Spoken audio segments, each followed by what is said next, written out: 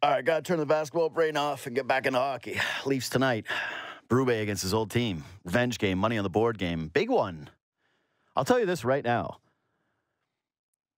I just did It's Early, but with the NBA. I'm throwing a quadruple down It's Early, but on this Leafs game tonight. The Leafs, after that effort against Columbus, you get away with one, right? Everybody was like, tee hee. No biggie. You played hard the night before. You had Hildeby net. They were sleepy. They were a little bunch of sleepy guys. It's okay. If you show up with a poor effort this evening and you do it against your former coach's team that fired him again quickly after winning a Stanley Cup, not good. You have a bad performance tonight. I'm not even talking wins and losses, right? Like we all know, this is a process still, right? This is process versus results. And yeah, results matter, don't get me wrong, but process is important here too. But you get dog walked, you get embarrassed tonight, and all the goodwill that you've built from the beginning of the season, it's out of here. it's gone. I'm going to bury them on Leafs Talk tonight. Uh, and as anybody who covers this team should, because this one matters more 100%. If the Berube effect matters, then the team in front of them has to play like a Berube team. They got to work their asses off and they got to get back in the good graces this evening. Uh, James Mirtle, senior writer for The Athletic, joins me now. What's up, brother? How are we doing? I'm good. I'm good. There's breaking news. The Leafs have just activated Joseph Woll from yeah. IR, and it sounds like he's going to play tonight. So, hmm. Hmm. interesting, interesting stuff. Throwing him right in against Berube's team. Okay. Um, let me, let me collect my thoughts on that. Let me collect some thoughts. What do you think about my take about how tonight matters more? Do you think it does? Because people do the measuring stick game, and normally it's against an opponent that you could face in the postseason or one of the teams that was the best in the NHL. This is a Blues group that just lost Robert Thomas. I think the Leafs are something close to like minus 250 favorites on the betting line. And granted, some of that's because they're the Leafs. But yeah, how much stock do you put into a game like this, a money on the board game for the brand new coach? Yeah, I think so. I think mm. that this means something for sure. And you're going to have, sounds like you're going to have Woll back, and St. Louis has played pretty well, and you're coming off what they hope is one of the crappiest games that they're going to play all year on mm-hmm. on Tuesday. So it's a statement to the coach. I'm sure the, eh, I would have loved to be a fly on the wall the last two days about what Berube's been saying to his team about that game and mm. adjustments that they're going to make. It wouldn't surprise me if there's a surprise scratch or two for this game tonight just to send a message and say, hey, last game wasn't acceptable. And yeah, I think you combine all of those all of those things, and I think that uh, I think tonight does mean something more. Well, the only thing with the scratches is is Pacioretty healthy enough to play? Because I would guess that they're going to be uber cautious with that, which removes one of the guys from the equation. And I don't think that Timothy Liljegren is drawing in because he's bad and the other guy's been playing well. so yeah, it's just hard for me to see a lot of shakeup there. Yeah, I was just yeah, I was wondering about Pontus Holmberg. It's interesting he's played every single game because he's also been bad. Yeah, so quite. you know, um, that was that was one possible change I was thinking maybe they could make, mm. and Kampf comes back in. Yeah, no, Kampf's got to come back in. Uh, there's no doubt about that. Um, okay, so I've figured out my questions on Woll and the, the the thoughts. Like I was sitting there, I was collecting. All right, I was still listening to you, but I was also collecting two things. This means two games off in a row for Stolarz. And I just read 32 Thoughts yesterday uh, evening when Elliotte Friedman dropped it. And he put in there his Leafs thought, which was about Stolarz's workload. And it's not um, customary for a guy who's playing as well as he is to sit two nights in a row. And I'm curious if you have any thoughts on what the Leafs' plan is moving forward. If any of his recent play, how good he's looked in that starter's role, will be altered, like the plan for his workload moving forward, or if that is actually a real concern within the organization beyond the natural feelings that you would have about a guy who's only played 28 games? Yeah, I think both Woll and Stolarz they have the same questions as everybody else about the fact that that they haven't played full seasons. I mean, you know what's interesting with Stolarz is if you look back, he didn't play a full season as in junior. He only uh-huh. did it in the minors, I think maybe twice and he's never done it in the NHL. Mm-hmm. And here's a guy who's 31 years old in January.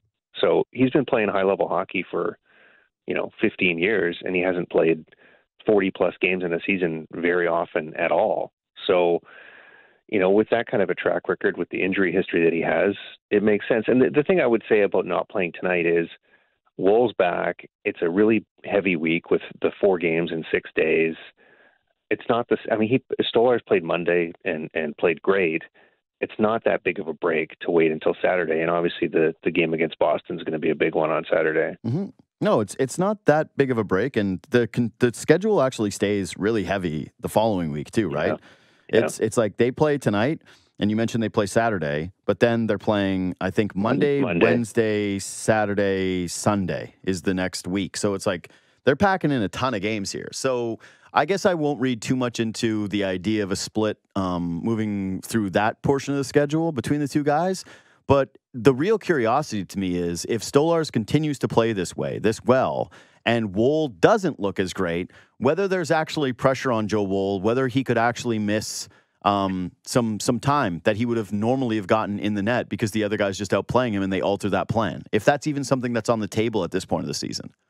Yeah, I I think in an ideal world they don't want either guy to play more than forty some games. Mm-hmm. So I, I, don't I don't think no matter how well Stolarz plays, I don't think he's getting up to the fifty mark. Mm-hmm. So you know, but I again, it's going to depend on play as well. I mean, if yep. Stolarz continues to be a nine, I mean, what's his save percentage now? Nine forty something. I mean, that, that's, that's he's the darling of the fan base. He's honestly the maybe yeah. If you want to talk about like most popular athletes, I always do approval rating, not most popular because he's not famous enough, but I always do approval rating on a player. Right now, he's he's 100% approval rating. Like what who's who's saying that they don't like uh, Anthony Stolarz in the city right now? Who's aware he exists? Not a person. Yeah, just wait till like more of his backstory comes out too because like you know i know like i've i've heard some of the stuff and i know we're working on a story and like it's it's it's pretty pretty good i was talking to dallas eakins who had him in in anaheim and he just mm-hmm. said this guy's an amazing guy mm-hmm. the the team the players love to play for him and so you know he's going to be if he continues to play like this he's going to be uh he's going to climb the climb the fan favorite charts here pretty quickly in Toronto. Buddy, we're way too close to the U.S. election. Like I think it's November fifth. It's October twenty fourth. For you to be going, wait till things come out about his backstory. I was like that. My brain's geared politically, where I was like, oh, uh, oh, what? Good, yeah, good. good thing. Way you said it. you know, like working class New Jersey sure. back, background, okay, like good. you know, just unassuming, yeah. kind affable guy. Like I, you know, I've been around the team. he just he just seems like a, a a great guy who's finally getting a break, and those mm. are the mm-hmm. kind of stories that I think this city loves. Yeah. Okay. So not scandal. Good. Good. Scared a lot of people there. Things are about to come out. You're like, what? it's like okay. So. Uh, I guess the the final thought on that is then if they don't want either guys playing more than 40 games and then you kind of have a plan set in place, sure, the one guy might end up playing some of the bigger contests, the more high leverage contests, and, and establish himself sort of as the 1A. Uh, the fan base will certainly feel that and be critical of one of the guys if they're not performing particularly well. That's just natural. But if you're able to tune that out, it shouldn't be as big of a deal. And some guys are adept at that. And Woll, from the things I've heard about him, anyways, from people around him, is he's especially good at that. Like he's not a let the outside noise guy in, which I no. think really bodes well for him in his future with the Leafs. But it seems to me then, if that is the case, that there's actually very little pressure out on him outside of you know his own personal expectations and the team's expectations. Yeah, I think that that's right. Yeah. No, yeah, Woll's a guy that's not on social media, and he's at home yeah. building Lego sets yeah. and playing playing the piano and stuff like that. Like that's who he is. Yeah, he's got real hobbies. Like he doesn't. His hobbies aren't scrolling like most of us. It's like, what do you do with your free time? I scroll. Like, oh, I'm also a scroller. I doom scroll for hours at a time. yeah, so I, that's why I do feel like he's in a good position that way. But yeah, it doesn't look like he's at a risk to be losing meaningful playing time.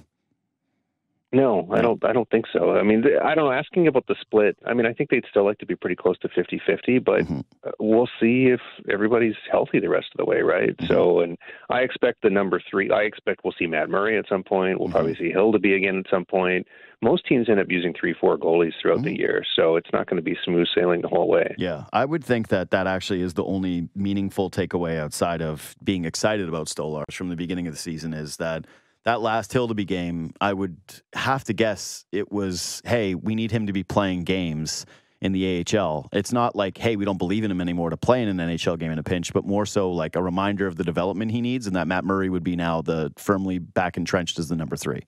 Yeah, they didn't want to bring Murray up. They had a decision to make with when when Woll went down. They didn't want to bring Murray up and have him sit on the bench because he's coming off those surgeries and they want him to play. And yeah. He he had I think I think he's played two games for the Marlies now. And in his last game, his first game was just so so, and his last game was really good. Mm-hmm. So you know, Murray's got to get some reps down in the AHL. But yeah, I mean, I think for future call ups, it very well could be Murray who comes up and uh, gets the spot starts on the back to backs. I never know this stuff because it feels like oftentimes uh, camps and guys around the guy are usually excited about a dude's incoming season, right? Uh, like, look at the stuff that was surrounding Pacioretty as he was trying to become a Maple Leaf. Like, this is the best shape he's ever been in. Like, you always get that kind of stuff. But there was some, like, some Murray excitement did trickle my way throughout the offseason of this guy looks better and healthy and all that different stuff. And again, I take it with a grain of salt, but it was there. Well, I mean, he's not that old of a yeah. guy. I think I think yeah. he's 31 years old, and he was a really, really good goalie for a while there. So, mm-hmm. you know, it, it could. There have been goalies that have come back from the double hip surgery and have, have played pretty well. So yeah. we'll see. I mean, he, he's he's a, another guy, a wonderful person, an interesting guy. There's a lot there, and it would be pretty great if he could battle back and, and get back in the NHL. And um, you know, even if he's a backup or something like that, it would be a good story. So here's a real pressure point, in my opinion. Um, it's how far away is Calle Jarnkrok? Is your understanding of it? Honestly, I don't know on that one. I haven't poked around on that at all. Okay, because um, as the days go on here, I like they keep cycling. You mentioned the Pontus Holmberg thing, right? And I'm going, yeah, for sure. Like Pontus has not been playing well. Uh, and David Kampf comes out, and Pacioretty's an older player who has been taken out of the lineup because he hasn't looked phenomenal, but also they want to rest him, and now he's dealing with an injury, and so doesn't feel like really there's anything urgent um, for Nick Robertson. But he scores this goal against Columbus, and the goal was nothing to me. Like I, I, I don't know. Maybe players feel differently. Maybe he feels differently, like that he has the monkey off his back and he doesn't have to just sit there with the zero the entire time. So yeah, from the outsider perspective, or when you're looking at a box score perspective, it looks better than the zeros. There's no doubt about it. But if you're paying attention to the team, his impact has been minimal so far this season. And I would actually argue that a big part of, and I have argued this pretty firmly throughout the beginning of the season, that Tavares is playing fine. That people who are crying about him are just the ones that will never get off of the $11 million number and the disappointment of the contract and blah, blah, blah, blah, blah. But you can't really expect much from a line, or at least to have them look phenomenal when, yeah, an aging player like Tavares is saddled with two wingers that don't have any impact or don't drive any play. And I think that the expectation, or at least the hope for Robertson this season was that he was at times going to drive play. And there were moments, right, like in game one of the season where he was doing that, where he was dangerous. He felt dangerous and he was carrying the puck through the neutral zone, gaining, uh, you know, felt like he was skating better, felt like he was looking for a shot a little bit more, that he was threatening. And the last little bit, the, the threatening parts haven't felt there outside of the ends of these last two games, which have been blowouts. And I am kind of curious what you think it's it's going to happen here because my guess would be that when Calle Jarnkrok comes back, if he doesn't play center between Domi and Nylander, which is a Versteeg idea that I I genuinely don't hate them taking a look at it. That the most natural fit to me for a line that is somewhat capable would either be that situation you bump McMann down with Tavares and Pacioretty and you're kind of big, or you put Jarnkrok with those two guys and you've got a little bit more of a responsible veteran line. Yeah, I, I, I think that that makes sense. I could see Jarnkrok going there for sure, especially as he's just coming off the injury and has missed training camp and all that. Mm. So you're probably not going to put him in the top six to start. So no, no, no. Yeah, I mean, and the other thing too, you know, they're going to have too many forwards probably. Someone's going to have to go on waivers here. I mean, depending on the health of Pacioretty and and everything like that. So mm-hmm. seems he's fine. Know, Hakanpää actually looks like to me looks like he's getting closer than Jarnkrok just because I've you know I've seen Hakanpää on the ice and around the mm. the team a little bit of practice and things like that. But yeah, when Jarnkrok comes back, that makes sense. I mean, he's a guy that can help you on the penalty kill, and he's a guy that can can can play spot minutes, especially when you've got a lead and you're trying to hold things down. And so you know he's another utility player that they need. And you're right, Robertson's been a bit of a ghost. You know, it reminds me there were long stretches last year where you just didn't notice him, and mm-hmm. he's getting 11 minutes and and maybe a shot on goal, or, you know, but sometimes not, and you know, just not seeing a lot from him. So, I mean, he, if it continues to go this way, he'll he will move his way onto the potential trade candidate list, which up until now, after what what Robertson was on that list going into training camp, mm-hmm. he played his way off of it. And the list, you know, at the start of the season was was Liljegren number one, Kampf number two, maybe Jarnkrok. Uh, but I think that you know Robertson, and I know Robertson doesn't have a big salary, but yeah. you know if if he's got two points in the first 18 games or something like that, I could see them just looking at that and like, there's just it's not working here. Yeah, but I don't think the issue normally would be, or uh, that it, it would be a normal player. You would go, yeah, he's going to come out of the lineup.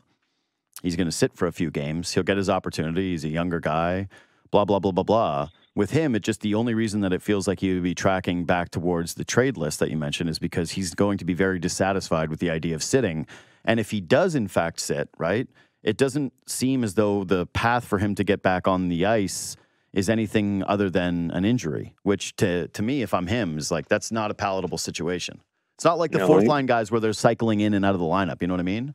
Yeah, he's not going to want to sit for very long. Yeah. But I don't know how he or his camp can argue anything but that if he doesn't produce. I mean, that's what he's there for. And and you're like, you're right. He was if he was noticeable the way that he was really early in the season and in preseason, No, then. I I could make that argument. Yeah. hmm Yeah, no, that's it. He just he just has not really performed, and I guess his camp or he would argue, hey, the reason why I was frustrated is because every player goes through lulls.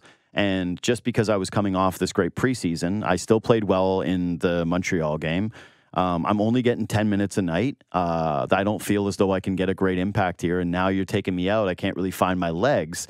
My whole point was that I want to be able to be given the runway of an established player who gets to play 10, 11, 12, 13, 14, 15 games and then be evaluated, not six or seven before the media and the coaching staff start picking me apart. So I understand it from his perspective. I would just say that where this team's at and the glut that they have at forward depth, like it's just it's it's hard to envision that happening if and when Calle Jarnkrok comes back. Like all of this stuff doesn't feel complicated. Even the Hakanpää stuff to me is fairly simple. Um, you know, it doesn't involve a lot of difficulty. The only problem is that Jarnkrok comes back and all of a sudden it looks like you have a pretty obvious set top nine. Yeah. Yeah. The only thing I would say is like we'll see if Pacioretty, out or not, yeah. and, and and Holmberg's the other guy who could come out, right? So I would give Robertson a little bit more rope here. Like Yeah, I, I can I can to. see not not just giving him seven games, like give him I don't know fifteen or whatever, but Mhm. He's he's got to he's got to show something more than what he has so far. You know, even I mean they've played power play too a little bit more, and he hasn't been super dangerous or noticeable there. Mhm. So you know he's he's he's got to. I mean, I don't, he can't expect that he's going to get 16 minutes because he hasn't earned them. A hundred percent correct. And uh, all I would say is, you're right. I he have he has to get the leeway. He has to get more games. He's got to get up to that 15, 16. But where they're at in the season, it's like after tonight, you're you're halfway there. You know, like you're you're more than halfway there potentially to that real conversation that's going to happen. Okay, so you mentioned the Hakanpää thing, sort of in passing, that he looks close. I think Timmins has played fairly well, but um, pretty clearly you are going to sit him for Hakanpää. And I would guess that Hakanpää, and this is based on nothing other than my thinking. I haven't heard this from anybody, but that they wouldn't exactly be, they'd be treating Hakanpää kind of similarly to what they did with Pacioretty, which is if there's ever a night they can take him out, like he's not going to play all of the games, that they would try to No. manage the minutes, that they would not No. be playing him on back to back. So if you're Conor Timmins, you can't be too upset with it because you're still going to get ice time and you're right behind a guy who's very injury prone. You're the clear seventh defenseman where as you know, a year ago from now, if you could be promised being that on a contender, you would take it in a heartbeat. Um, so that's kind of a fine and sorted situation. But from a cap standpoint, now it feels urgent then when he's coming back to get money off the books because it doesn't work. So, do you think the Leafs have a trade lined up for Timothy Liljegren right now? Like, do they have a resolution for when Hakanpää comes back for Timothy Liljegren today? Uh, I I don't know. I mean, I, I've been working on this and talking to teams around the league, and I'm getting a lot of teams saying they're not interested. So, Mhm. um, I, I don't. They they obviously have something that in their back pocket that they think they can do. Something have to. I don't I don't know if that's put guys on waivers or there there's probably some one of those I'm not I don't know if it's Logren for sure there's got to be something where they've got an escape hatch here where they can just disappear one of these contracts. So it could be Kampf. Maybe there's a team interested in taking Kampf and the Leafs don't get much in return. Maybe it's Logren. You look around the league though, there's not a lot of teams that need a Liljegren. Like it's like who is the obvious fit for for him to go to? It's been my point all along. I- he's 25 years old and he needs a new contract. Like he's not the young low chip that you're buying for a young rebuilding team, and he's proven himself to not really be a playoff performer. And Yeah, I, I like some people are still higher. three on him than- million. Yeah, that's what I mean. three million. I mean, that's a teams. When I talk to other teams, it's like it's three. You know, and it's Yeah. not just this season; it's next season. And the Leafs aren't going to retain any of that. And it's three million for a guy. And I, I think got two more years left. I thought this was the final year of it. no, no, no. It's two years, including this year. Yeah. Okay. Yeah. I was going to say this is, this is the last one. Yeah, because I was going to say that that's part no, of no, it. no, no, no, no, no. The two-year deal starts this year. Oh, like he really? just signed it. Yeah, Liljegren, Liljegren just signed the deal in the off season, right? A two-year deal. Yeah. Yeah, that's not good. So that even even worse than I thought. it's even harder to trade it. So, yeah, I ask other teams. They're like, "Well, he's not playing. He's played like 13 minutes this season. He's been a healthy scratch. He makes three million. He's mistake prone. He's not big. W- why would we want this guy?" So, the only team that might make sense is maybe it's Utah with all the injuries that they've had, Yeah. or or maybe it's a team like San Jose that just like their blue line's terrible and they've got lots of cap space and they're bad, and maybe just take a flyer on a guy. But with Utah, their guys are going to come back this season. Well, Durzi could be out six months, so. Uh, okay. Oh yeah, I guess if that's the one, but ugh.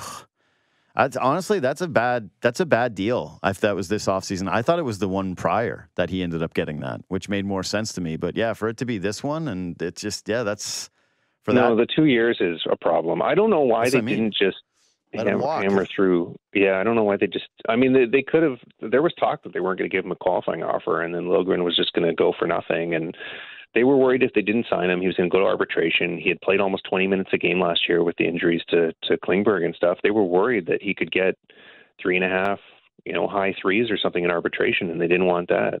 See, this is one of those ones where I I think about the Toronto market mattering for a player because you wonder like if they would have just let him go, the peop, the backlash that they would have gotten from people going like, how could you just let Timothy Liljegren walk? How could you let Timothy Liljegren Yeah. walk? And then you look at it and it's like because he's not worth anything in the league. Like that's why. That's why we let him go. And we were capped out and we had other guys that we were bringing in here.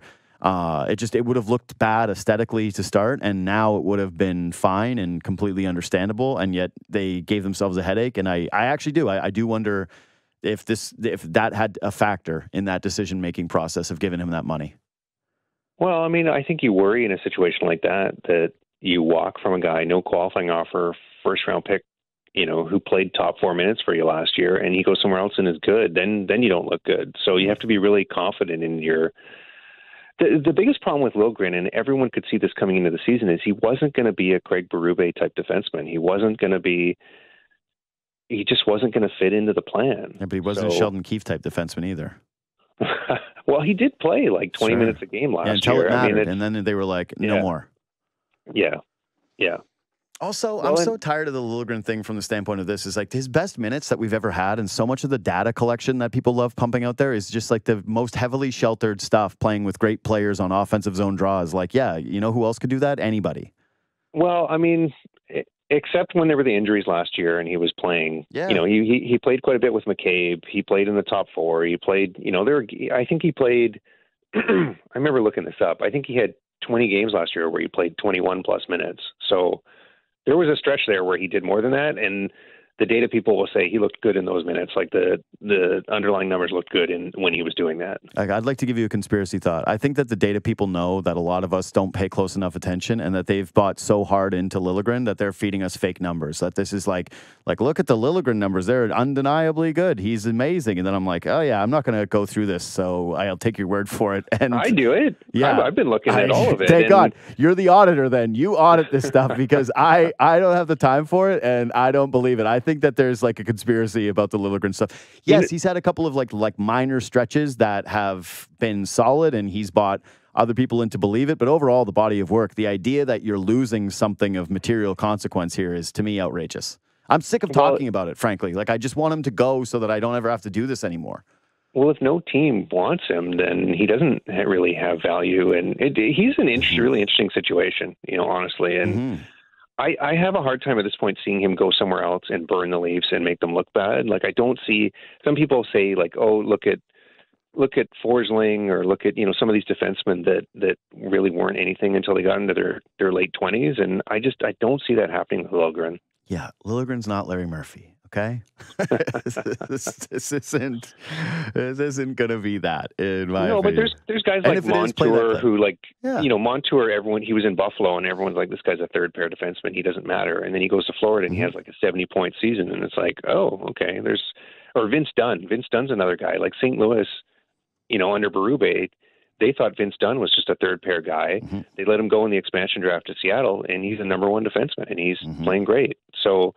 It does happen with defensemen. There are teams that misevaluate, and good teams misevaluate players Mhm. but I just I, I can't. Liljegren's absolute ceiling to me at his very best is going to be probably maybe a number four defenseman, maybe, and and probably not on a contender. Yeah, that's I, I I'm totally with it. He's just a guy who will have a career, but I don't think it'll be ever be anything overly special. Anyway, you know, you mentioned the Kampf thing, and I was also the the other takeaway I had from 32 Thoughts was this. Elliotte pointed out all the teams that are already desperate for centers. Mm. That Calgary wants one, Chicago wants one, Nashville wants one. And my first thought was, oh, that makes it so much even not like centers who can play in your top six are already in abundance come deadline time, right? Or that they ever go for cheap.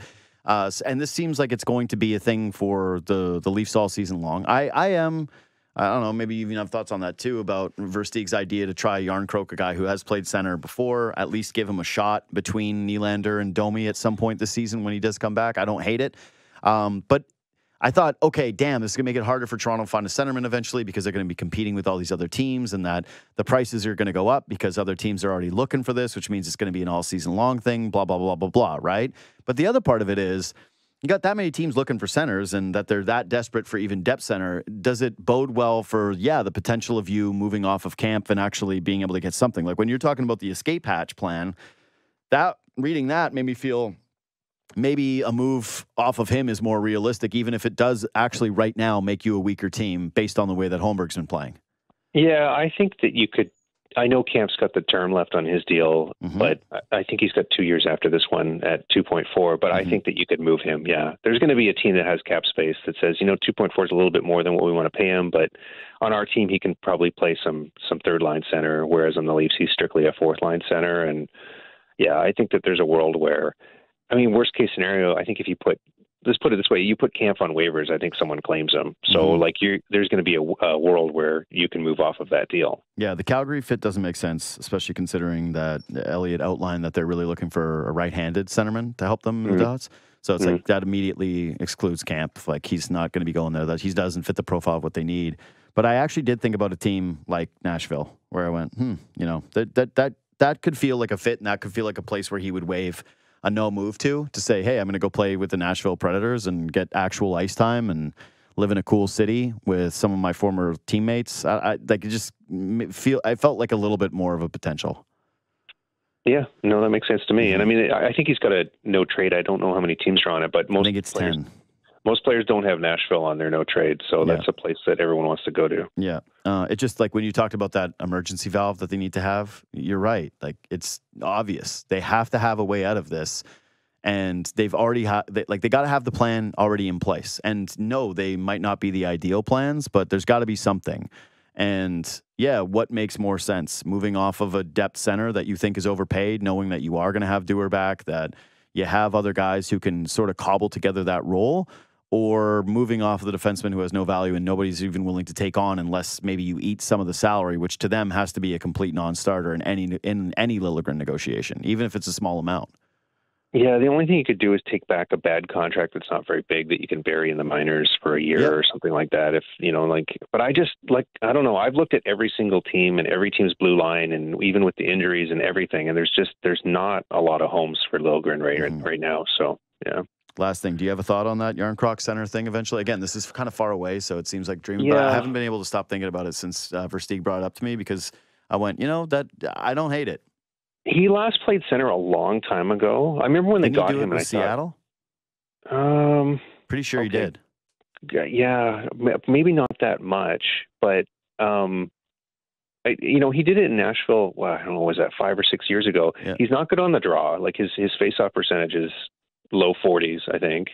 And and I've heard that I don't think Jarnkrok he would prefer to play wing. Now, I mean, that doesn't necessarily mean you can't do it, but I don't mind it. I don't think you're going to put him in in his not his natural position coming off the injury, but maybe it's something they can look at Mm. deeper into the season. Yeah. So he's a veteran who's been around. Who's you know I remember when they they first signed him. It's like this guy can play all three forward positions. So yeah, I don't I don't I don't mind trying that. But those are the things he's not good. I think his career faceoff percentage is really really low. So you'd have to deal with that, especially if you're going to play him in a defensive situation in his own end a lot. Um, and and the question of how much has he done it and how much does he want to do it? Mm. Here's what you say to that. Um, it's going to be Craig Berube that asks you. That's the point of Craig Berube. He's like, "Yo, you're going to play center tonight." And he's like, "For sure, I am. For sure." Yeah. Like, No, I don't think he's the kind of guy that's going to Yeah. rock the Yeah, boat and exa- say no. yeah. yeah. Exactly. If I was the Leafs, by the way, I would just have Craig Berube highlights like running around the facility at all times. Like I would just have old. Like I saw one from that game, uh, the with the Ducks, where it was like a billion penalty minutes, right? Where it's just like brawl after brawl after brawl. Uh, where the announcer calls J.S. Giguere uh, Gigi Gabor. You know that clip? yes. Yeah, and it's like Berube has two moments in those scrums where he's just flying at somebody trying to kill him, and it's just terrifying. Like the upper Whoa. body and the face and the look he gives is just so. I like I said, I just I practice. I'd be like, oh, whoops, we accidentally played Berube's highlights again. like, oh, damn it, What why about- did this happen? What about the fight clip? Do you see the fight clip? Like Jody Shelley was on the broadcast on the Yeah. Amazon broadcast on Monday, and they showed the fight clip, and it's like, okay, Jody Shelley was a tough guy. That Yeah. would have been that would have been when he was like 20 years old, Yep. and Berube would have been 40, Yeah. and Berube is just fighting like a complete maniac. Like Yeah. that that clip was that was not like a hold on and No, you know dancing bears. That was a that, was, No. that was a death death wish fight, and you know it's it's he's he's a he's a tough tough man. That's for sure. he fought to hurt. Yes. Uh, He did not fight to tie up and grapple. He fought to leave his mark. Uh, and yeah, that's why I said like I'd play the highlights. All right, last thing, you wrote a piece uh, that the Leafs are close with McCabe. That all the fellas that we're talking about with the contract extensions take a back seat. All right. Because this one's the real one. This is the one that's happening. You outline this case of what he's going to make. I want you to make it here. But my only thought with it is he is entering his age 32 season. So why rush when you do have a full year uh, that is in front of you right now, and he plays the way he plays? Like it just to me, there feels like whenever you're doing these negotiation stuff, like when you're trying to buy ahead and you're buying in season, the guys that make more sense to me are like the Matthew Knies guys, where you go, oh, this could actually get better and better and better. I feel like if McCabe is getting a contract extension right now, I don't hate it, but you're clearly buying him at the very pinnacle of whatever his negotiating price could be. I don't think so because you go to July one and you can negotiate more because you're on the open market. Some team gets desperate and they, they let's say he plays the right side all year and he goes to market and there's two right side defensemen that are UFA. Mhm. Look at the contract that Matt Roy got last year. Like, did anyone think he was- he was going to get seven years at close to six million? Mm. No. I mean, No. it's a similar player, other than he's two years younger. I was going to say, how much younger is he? Because I thought it was more, more significant than that. Yeah. he's he's 29 so it's same profile though like a you know like a number 3 number 4 defenseman good defensively you know like physical you know those guys tend to get overpaid as free agents so I think that the reason you do it now is that McCabe is going to cost more on July 1 All right. so and I, and I think that he wants to stay they're having negotiations I don't think they're being unreasonable. I think he wants basically like market value. Whereas I think the and the other thing too is the psychology of it is if it doesn't get done now and you kind of nickel and dime, his camp could just go, you know what, we'll just wait and see Yeah. what's you know, like it's getting close, we'll just wait. We'll play out the, the end of the season and we'll see what the July one landscape looks like. So, you know, I think there's a window here where the Leafs could get it done if they want to. And if not, it could just be like, eh, let's talk at the end of the season. And Yeah. what that really means is let's talk in July or June. So Or it means uh, he dislocates his shoulder, and then all of a sudden it's a, hey, Yeah. uh, got got Yeah. hey tree, got any time? Like, yeah, that's uh, well, the that's but that's the job security that McCabe gets by Yeah. signing now, and that Yeah. might mean that you get a little bit lower number. So you know, I think the number's probably like five million, four years kind of thing. And but I but I think in free agency he could get another year or two and maybe a little bit more money. yeah, that's fine. I don't mind it. I'm just making the case. Anyways, James, it's a good piece. I enjoyed reading it. It's up on the Athletic right now. You can go get it there. Thanks for making time as always, buddy. We'll talk to you next week. Yeah, thanks. Cheers, pal.